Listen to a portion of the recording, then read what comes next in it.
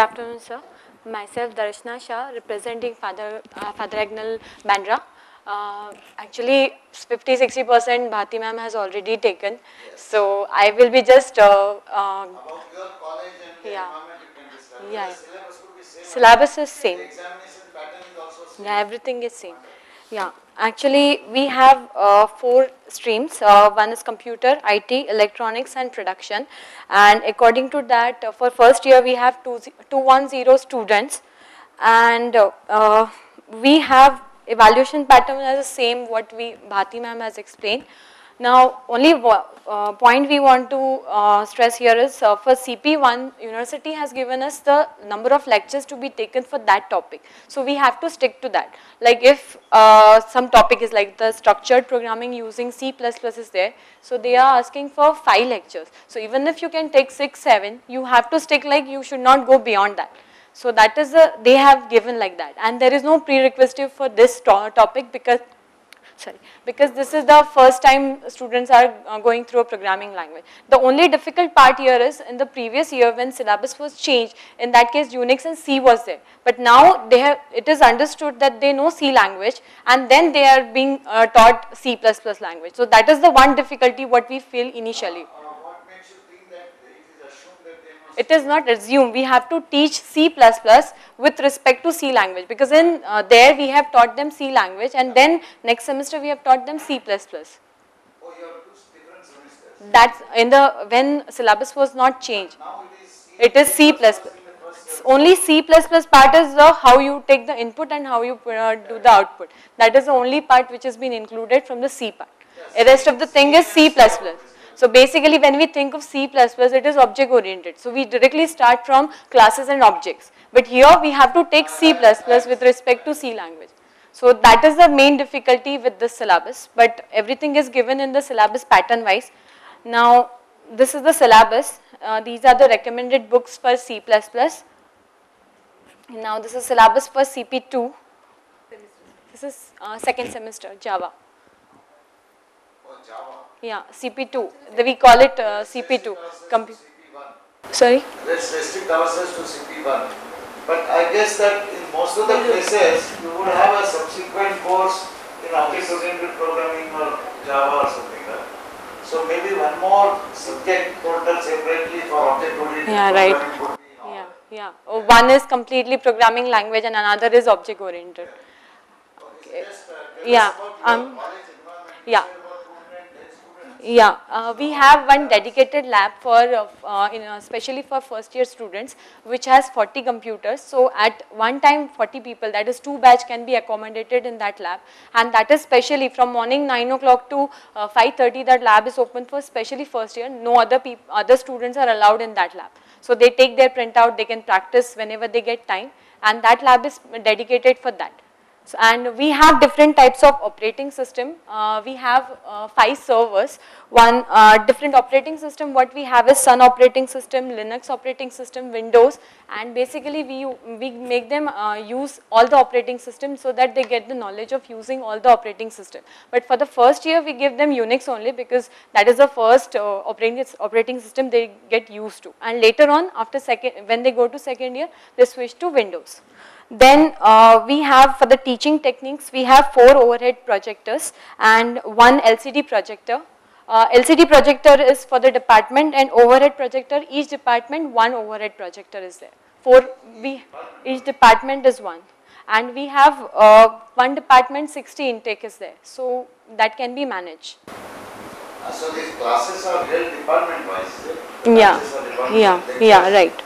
And uh, the teacher can have access to the OHP definitely Yeah, yeah. in each class. Yeah, but uh, people from other department can access the OHP of other department. There is no that way. So, but mostly your teachers uh, prefer that or they prefer blackboard and chalk? Uh, both actually. Uh, those who are taking more of theory, they take uh, slides because uh, theory has to be explained. So then, and those who are taking programmings and uh, mathematical, they do the blackboard one. And in lab, we have whiteboard. Uh, second thing is uh, in the practical for first year, we have 20 programs to be performed. Now this is the list of experiments for CP1. that you can check. Uh, starting is initially uh, we take we start doing what they know from the mathematics like finding roots of a quadratic equation. So they convert that logic of finding roots of quadratic equation to programming language. So this is how we start. So and in each program something new they have to do from the previous program. So that is a strategy. This list is uh, prepared ahead and it is available to everybody. Yes sir. So all students are supposed to. And one, one more flexibility here is uh, if I am taking CP1 and another faculty is taking, in this line only they can change the topic like if they want series, if uh, Fibonacci series, I want Fibonacci series but he wants some uh, other series, they can change it. So there is no uh, specific rule like that. Yeah, that flexibility is there. So, and generally uh, instead of 20 we make them do 25 because that is, these are very small programs. So 20, 25 they attach for the journal but in the Mumbai University it is specified that they have to do 20 programs. Then, uh, They have to submit a lab journal. yeah, they have to submit a lab journal. So is it in the form of file where they just attach? Uh, they have to attach the printouts with a write-up and write-up is generally algorithm because they uh, first time writing the algorithms. And uh, when they switch to uh, classes and objects, they don't have to write down the algorithm because algorithm is for the procedural language. So we switch to uh, drawing the class diagrams and object diagrams for that, like that. But that is CP2. See, no sir, here only, uh, initial part we don't want any, yeah. Algorithm for first uh, five, six programs and then we switch to class and object diagrams. We don't need any, uh, Then I understood. okay. The lab runs from morning till evening. yeah, nine, How many teachers participate in teaching this course? One per four, batch. four, pe- four people, uh, four stream, four people, Four stream, four teachers. yeah. And how, who conducts the lab? Same. Teacher only, yeah. But one teacher can conduct a lab for 60 students. Uh, that is 20. Uh, one batch of 60 is divided into 20, 20. So three batches are there. So three 20.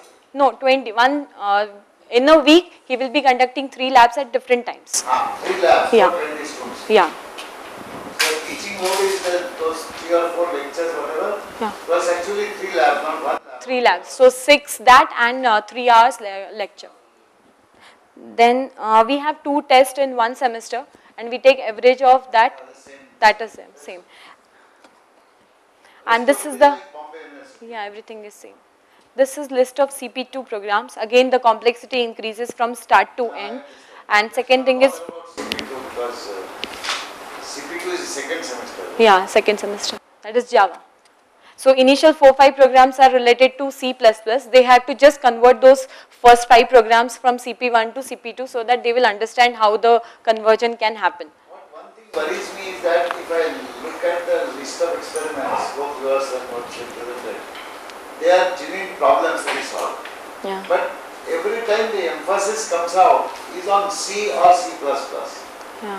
So that means the programming language is more important than the problems which are being solved. Yeah. Is that generally true everywhere? Yeah. That is a pedagogical issue that we would like to sort of turn on its head if possible. Uh, Thank you. Yeah. Any But, uh, special thing in uh, Father Agnel that you would like to tell us about? Specific, uh, anything which is different or generally you are all required to follow the same? yeah, we have to follow the univers- Mumbai University. No. No autonomy. No, not at all. Only we have to consider as 40% as a theory paper and uh, uh, theory and 60% is a practical comes in the paper. And uh, for the CP2, that is the second uh, semester, we have 50-50 weightage for that and accordingly we have to do that. The weightage, Practical meaning not that. uh, programs, no programs, yeah. So 40 to 50 percent is just descriptive. Descriptive questions, yeah. And 50% is a program, yeah. So we have to follow that only. And depending upon the lecturer, we give the notes and uh, to the students for the, Let me ask you a simple question. Suppose tomorrow it is announced that your college need not at all bother about the pattern of evaluation or teaching that Bombay University has imposed. How long it will take you to think about changing it for better and how long it will take you to prepare for a different kind of syllabus or different kind of uh, exam uh, evaluation pattern or different kind of experiments and so forth. if it is not connected with any other university, just I am there, then I think I require just like a pilot, uh, I require one semester to check for the students. From one semester you get. Yeah, because we have to check that for the students. Huh?